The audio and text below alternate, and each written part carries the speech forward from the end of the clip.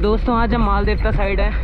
माल देवता में आजकल बारिश का मौसम है तो नदी आ रखी है, वैसे कम पानी रहता है। कभी कभी तो सूख भी जाती है नीचे की नदी। और नीचे गणेश जी का विसर्जन चल रहा है। चलो देखते हैं। चलो! जैसे कि आप नीचे देख सकते हैं, नीचे गणेश जी का विसर्जन चल रहा है वहाँ। तो अभी हम वहाँ जाएँगे, पूरी फुटेज लेंगे, बावड़िया।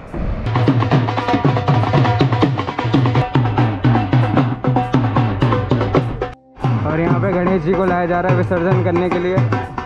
ये देखिए।